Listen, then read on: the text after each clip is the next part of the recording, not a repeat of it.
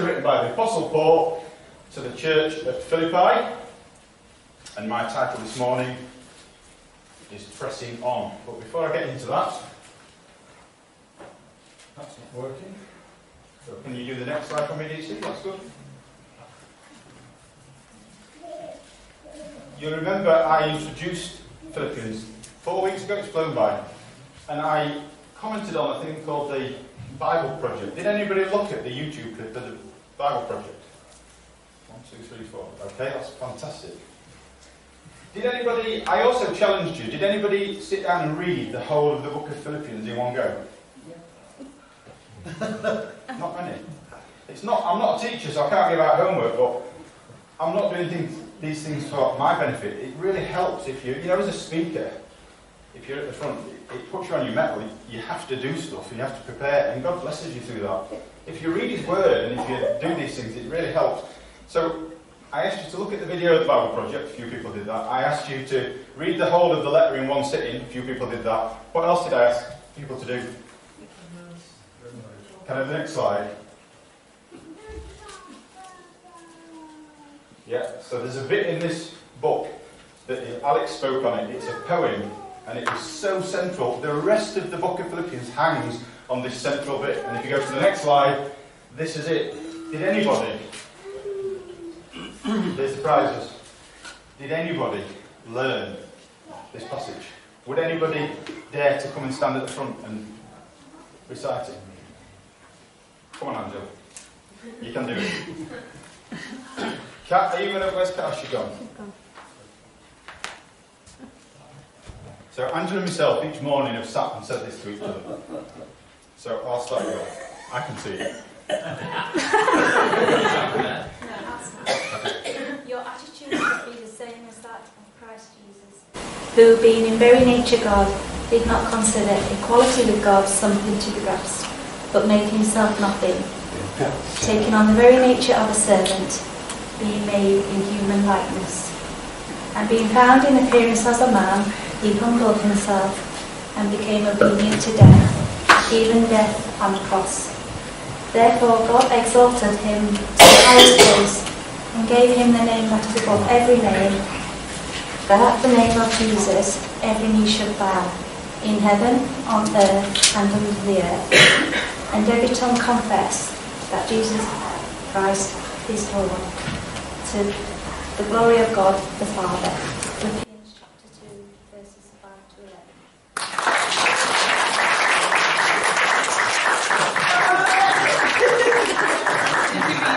Don't forget your prize.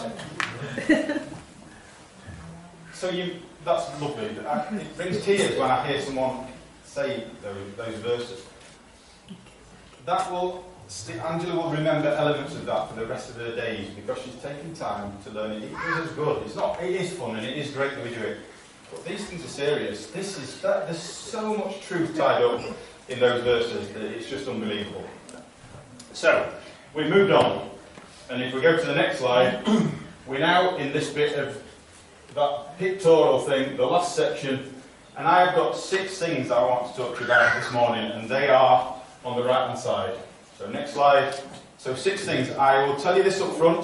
The first two are quite lengthy. The other four aren't. So if we get to 25 class and I'm still on thing one, don't worry, we'll get there. So there's a lot to say. This passage is, there are lots of sermons tied up in this passage. And all I've got on the screen behind me is an image for each of my points. So the first one is this not that I already have. So we're going to read Philippians chapter 3, and we're just going to read a couple of verses from verse 12, and it says this Not that I already obtained this, or am already perfect, but I press on to make it my own, because Christ Jesus has made me his own. Brothers, I do not consider that I have made it on my own. But one thing I do, forgetting what lies behind and straining forward to what lies ahead, I press on towards the goal for the prize of the upward call of God in Christ Jesus. Not that I have already attained this. What is the Apostle Paul referring to as he continues this letter to his dear friends in Philippi from his imprisonment in Rome. What is he saying that he's not already obtained? We have to look back into verses 12 to 16 just to get the answers. We're not going to read that. You can glance, glance at it, look, cast your eye over it. Paul talks of knowing Christ Jesus as Lord. That's what he's referring to the apostle is talking about the wonder of his conversion and all that that means he has inherited through Christ. He says, I count everything as loss because of the surpassing worth of knowing Christ Jesus, my Lord. I count everything as loss because of the surpassing worth of knowing Christ Jesus, my Lord. He talks about the righteousness from God that depends on faith and not on the law which he had stuck to so passionately for many years. He talks about being like Jesus in his sufferings, in his death, and in his resurrection. He talks about knowing Christ Jesus as Lord. This morning, do you, do you know Christ Jesus as Lord.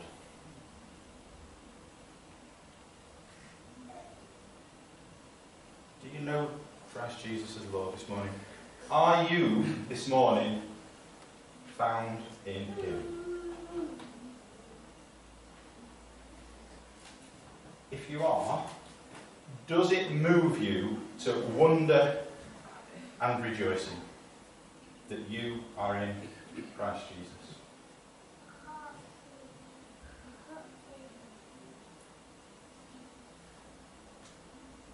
knowing Christ Jesus.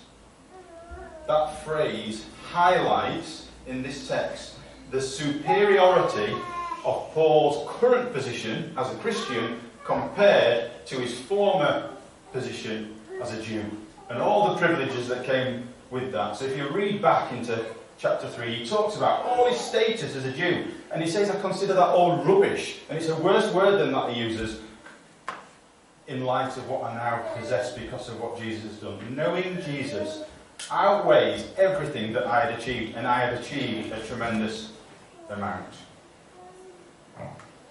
What do we mean? What do I mean when I say to you, Do you know Jesus this morning? I'll tell you what I don't mean. I don't mean knowing about him. I don't mean that you've read about this historical figure. I don't mean it's about coming to church. I don't mean it's about what your mum and dad believe. I don't mean it's about being a good person. It is vital. And if you take nothing else away from this morning, take this. It is vital that we each know Jesus personally. There's some verses in the Bible that say things like, For God so loved the world that he gave his only begotten Son, that whosoever believes in him shall not perish but have everlasting life. knowing Jesus is about believing in what is done. Knowing Jesus is about walking with him on a daily basis. The Bible says that if you confess with your mouth and you believe in your heart that God raised him from the dead, you will be saved. this is knowing Jesus this morning. I'll be really honest with you this morning, and I pray this regularly. I pray often that I would know Jesus more intimately. That he would be like the friend that I call upon. He is the first place I go to when I'm excited, when I'm troubled, whatever's happening in life.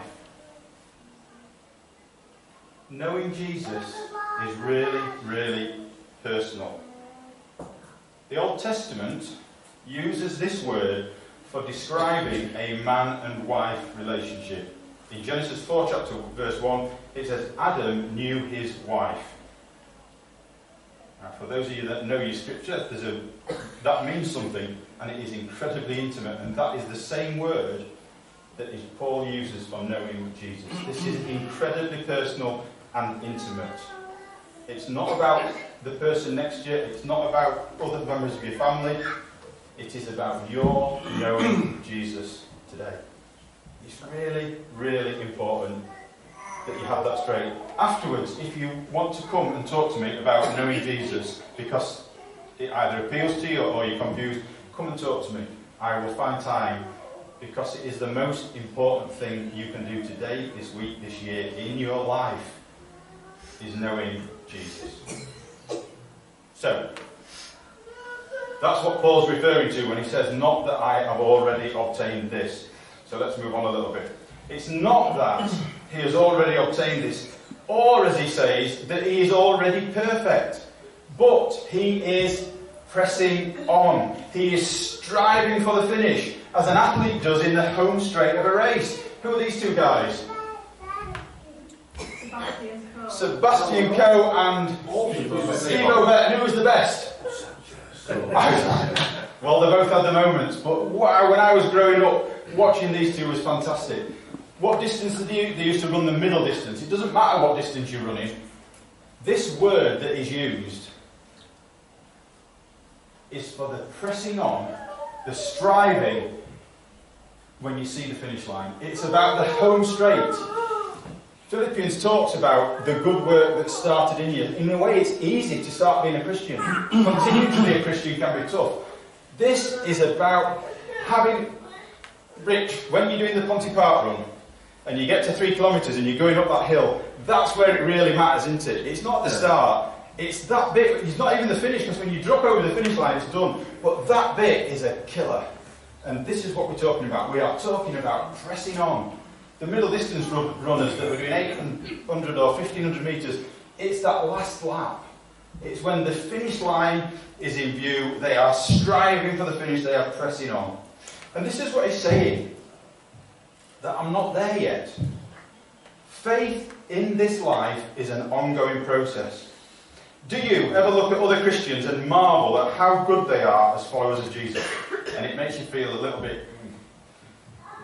The sacrifice and commitment, maybe some of the people that preach or that lead from the front. Can I just say, with absolute confidence, that every one of them is on the same journey? And if they are, they haven't made it yet either. God is working in them through His Holy Spirit, and they pretty much feel the same struggles that you do. In fact, the existence of a tension or a struggle is a true feature of being a Christian. Don't give up. Don't doubt what God is doing. Paul says to the Galatians in chapter 5 and verse 17 For the flesh, our old nature, desires what is contrary to the Spirit, God's Spirit, and the Spirit what is contrary to the flesh, and they are in conflict with each other, so that you are not to do whatever you want. And then it says, Those who belong to Christ Jesus have crucified the flesh with its passions and desires. So it sounds like it's complete. It's not. It is an ongoing struggle. It is a battle. As long as you're alive on this earth, you're going to struggle with sin because it corrupts everything. John Stott says that this crucifixion, when we have to crucify the flesh, this is not done to us, but it is done by us. We have to do this ourselves. Take up your cross and follow me, Jesus said. It is what we do when saved. We repent of our old ways. And then he says this, and I love this. But remember, crucifixion is slow, it's painful, and it's always decisive. We are putting to death the old nature, but it's a slow process, it's a painful process, and it never fails. That's what we are being called to do. If you're a Christian today and you're struggling, take heart because the Bible says it's a struggle. The old and the new are fighting. One last thing. We've crucified the old nature. It, the imagery is amazing. We've put it to death on the cross. Do not be tempted to go back and dabble with what you've nailed to the cross. Paul says, forgetting what lies behind. Do you think these two are thinking about what's gone on in the race up to now? Are they thinking about what happened at 200 metres or 300 metres? No, Not at all. They've got one thing in mind. They're striving. You can see the striving. they are striving for the finish. So, Paul says, forget what lies behind, both the good and the bad, the great achievements and the total failures of your life so far do not matter. He literally says this grasp that thing for which Christ has grasped you. Grasp that thing which Christ has grasped you. What does that mean? In Ephesians in chapter 2, verse 10, it says, For we are his workmanship, created in Christ Jesus for good works, which God prepared beforehand that we should walk in them. God has a plan for your life. Are you doing the works that he prepared beforehand? if you're a Christian, do you know God's plan for your life? Are you doing those things that He prepared? Or are you just like living life, hanging out, being chill, taking it easy?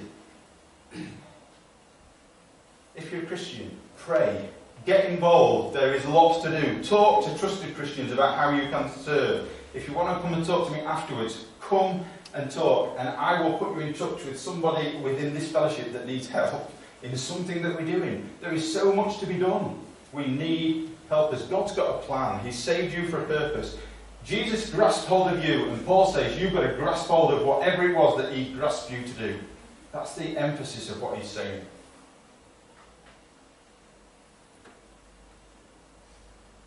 Are you in the race? Have you set off? Have you got over the start line? There was apparently a doctrine around Philippi that claimed that when you got saved, you suddenly were perfect. You're in and done. It's nothing, you know, I've become a Christian or I've put my faith in something, that's it, job done, I'm finished. Paul is probably opposing that view. He's telling you that this is a race that you have to work for. John Stott said, The work of sanctifying grace is progressive. It's an ongoing thing. But listen to this final perfection cannot be expected in this life. Only when we get to heaven, when we meet Jesus, will be made perfect. But relative perfection, appropriate to our state as sanctified believers, exists now. So that suggests to me that when you become a Christian, things change and your life or your reputation improves because the Spirit is living in you and changing you for good. So, we're not done but we definitely improved and improving. John Stott again says this in 1 John chapter 3 and verse 2. Beloved, we are God's children now, and it does not yet appear what we shall be, but we know that when he appears, we will be like him, for we shall see him as he is. We don't know in any detail what we shall be in the last day, but we do know that we will be like Christ. There is really no need for us to know any more than this. We are being made perfect. One day we will be like Jesus. That is just what a takeaway that is. This is incredible stuff. It's dynamite.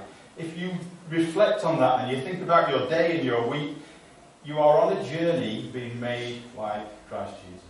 There are lots of verses in the New Testament that tell us that this is not finished, that we are being matured, we're being refined, we're being made better, we're in a race that we need to grow up, that we need to move from milk to food. The Christian life is a journey of development.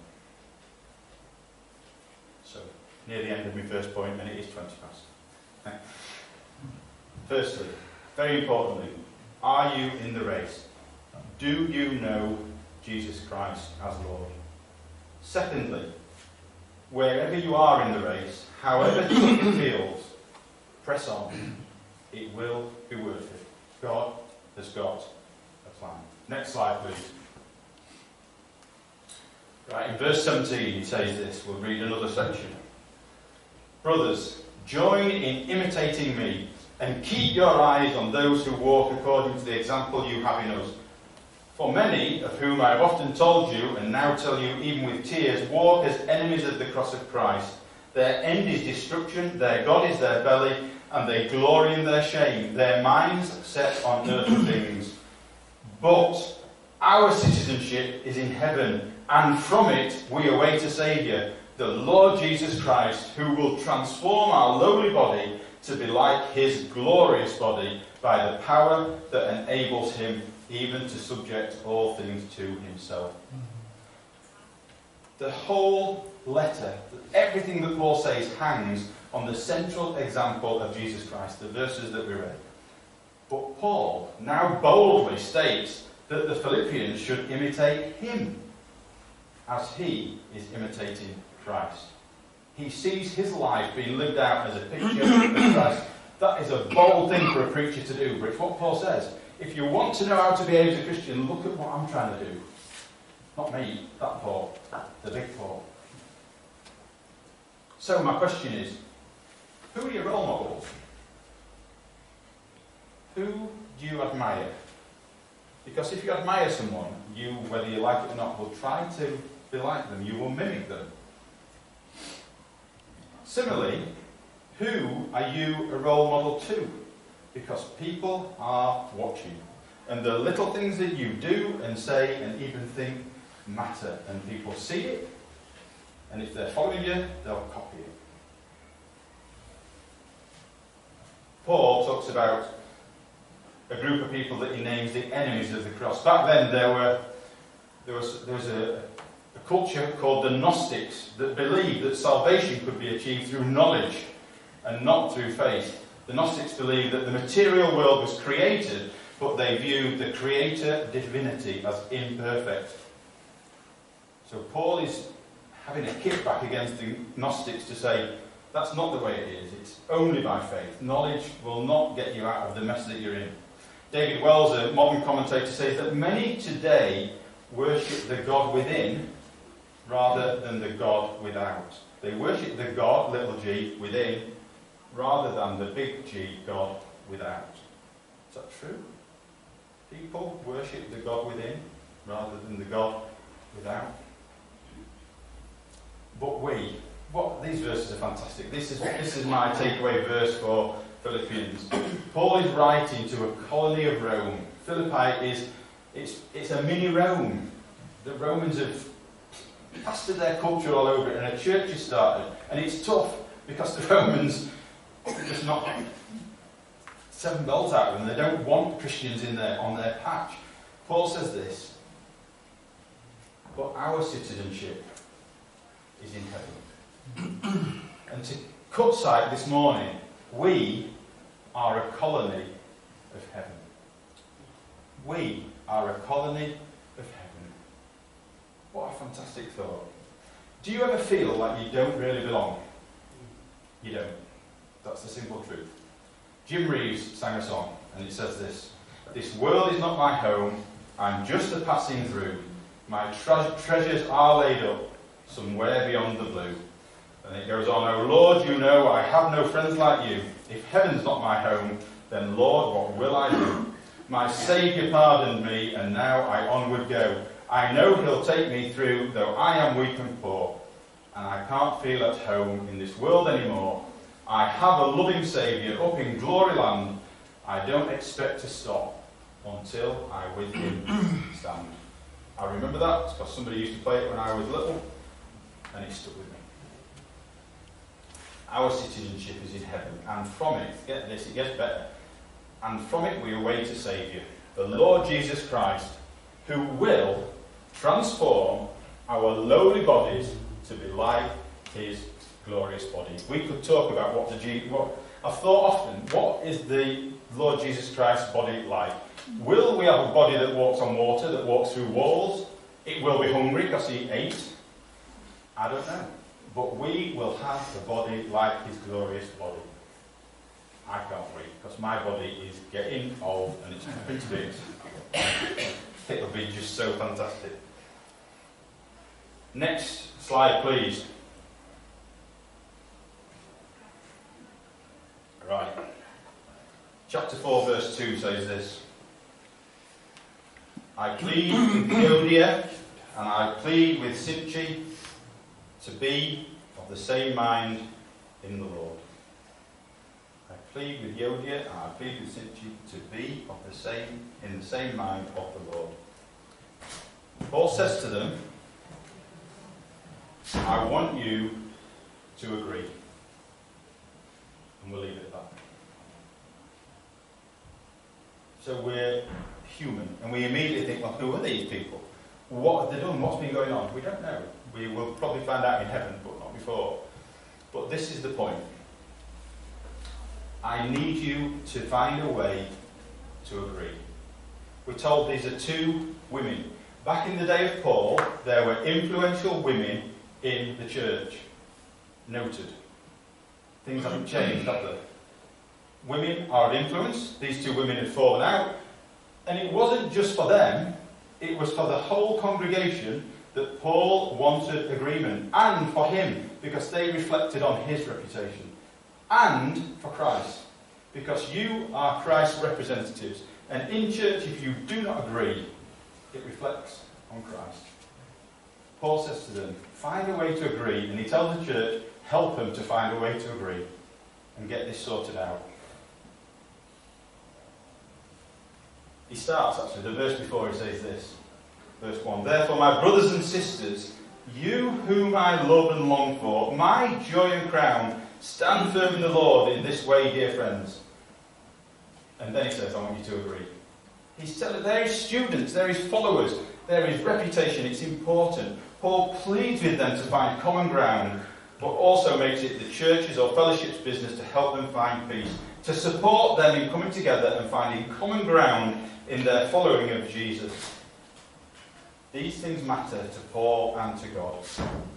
Someone has said, there is much more that unites us than divides us.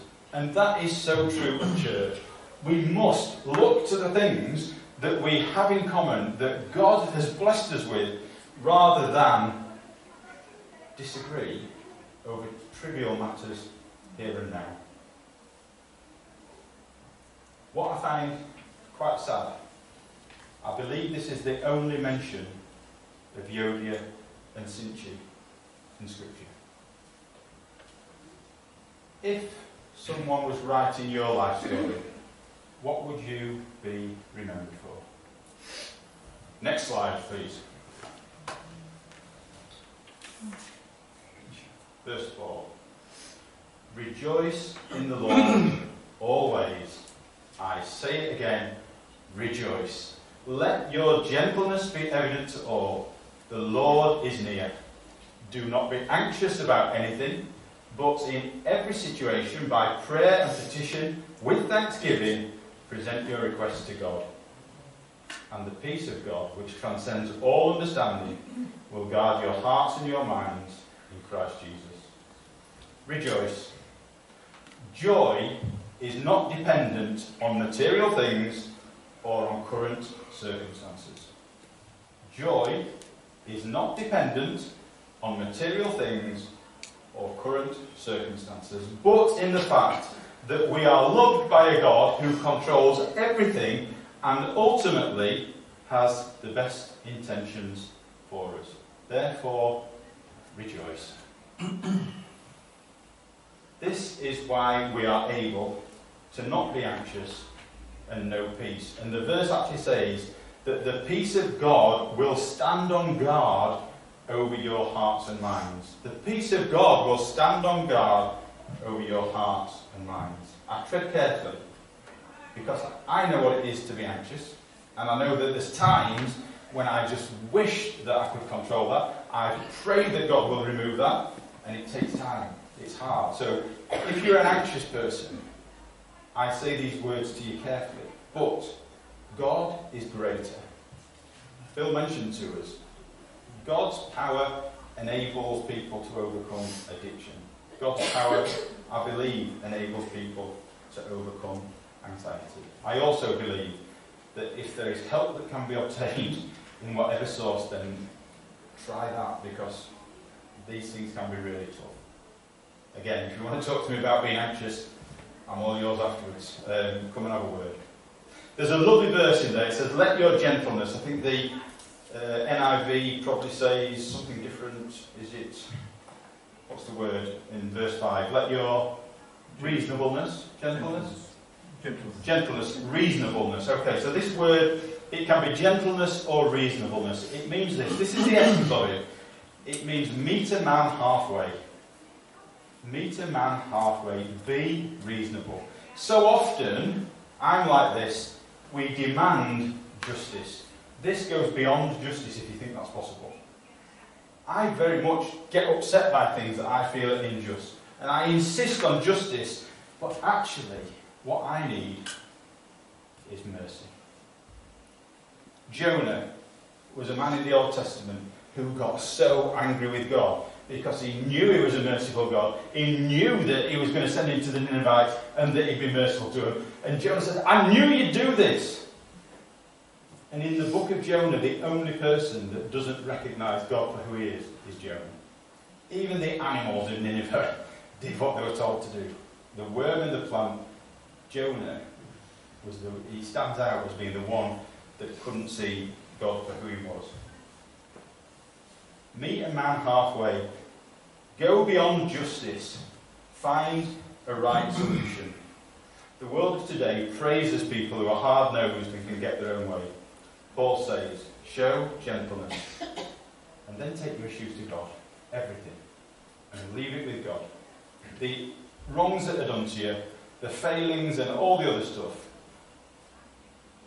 present your requests to God, and the peace of God, which transcends all understanding, will stand guard on your heart and mind in Christ Jesus.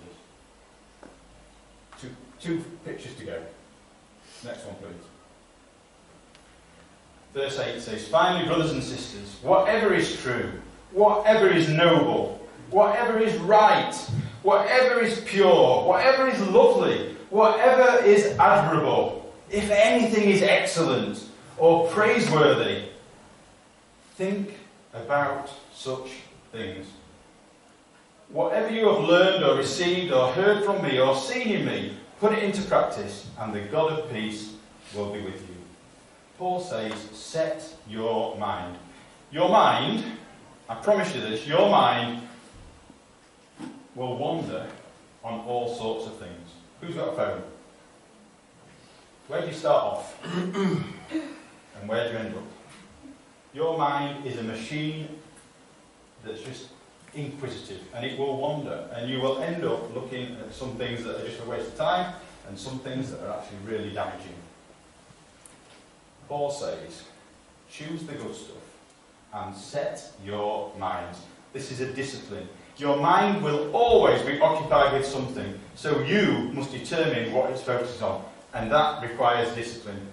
Trust, honour, just, pure, lovely, commendable, excellence, anything worthy of praise. Think about these things. It's another sermon for all those. We're going to move on. Last slide. A New Hope. Who's a Star Wars fan? A new ha- what happened to the Empire in Star Wars? We're going to talk about it in verse 21. So we've missed a big chunk out, but that's I'm already over time. It says this, verse 21: Greet all God's people in Christ Jesus. The brothers and sisters who are with me send greetings. All God's people here send you greetings, especially those who belong to Caesar's household. Now, the first bit of that verse is pretty standard text. It's the way that Paul would send his greeting, but this is unique. He says, especially those who belong to Caesar's household. Why has he said that? Philippi is a colony of Rome. Rome is the empire. They're opposed to Christianity. Christians are dying in horrific circumstances because of the Roman Empire. Caesar's household doesn't mean Caesar and his mates, it means the administration of the empire. Paul is imprisoned and he's alongside Roman guards, and he's taking every opportunity to tell them about Jesus. And the word is spreading. As the shift changes, the next one gets it, and he's doing an amazing job. Other people are seeing conversion within the administration of the Roman Empire. From a small part, from a small start, the corruption of the Roman Empire, at whose hands the Christians suffered terribly, was underway. And in 300 years, Christianity would be the religion of the empire and part of its undoing. You get that? 300 years after this, Christianity was the religion of the Roman Empire. The so called Edict of Milan pro- provided for this. It marks the Roman Empire's final abandonment of the policies of persecution of Christians. The age of the martyrs was at an end. The transition to the so called era of the Christian Empire had begun. So, what are these pictures about? Well, I'll tell you. So, this is, I took these photos. This is in Rome, it's just close to the Colosseum. This is called the Arch of Titus. And when you look on the inside wall, just here, you see this. And Titus was the emperor that sacked Jerusalem. And what do you see? You see the golden, the golden ware from the temple being carried away from Jerusalem. Titus sacked Jerusalem. So that's the Arch of Titus. And around the corner is the Arch of Constantine. And Emperor Constantine was the emperor that said Christianity is okay. You can do that. And in fact, became a Christian fascinating that this really exists. And in, when you go to Rome, they talk about all this, and it just you just think, wow, this is real. Paul is able to close, and it fascinates me that probably the last words he ever was able to say to his friends in Philippi is this: "The grace of the Lord of, our, of the Lord Jesus Christ be with your spirit." Amen. Amen. So, go back to just very briefly, to go back to the beginning. Now, not that I have already, imitate me, agree, rejoice, set your mind on these things, and even the mighty Roman Empire offered a new hope, because God is greater. Let's thank you. Heavenly Father, we thank you for this letter to the Philippians. We thank you for the Apostle Paul. We thank you for this point in history when you changed the world. We thank you for the Lord Jesus Christ, for his influence over everything. And as we look around the world and we just can't fathom how things are going to get better, we thank you that during the Roman Empire you found a way. And we trust you to find a way today. We pray that you'll make us faithful. Father, ask us, help us to lean on your Holy Spirit to shape our lives to be disciplined in what we set our minds on. Help us as Christians to agree, to find a way to agree more than anything else, to put aside the things that we think are important and just to agree.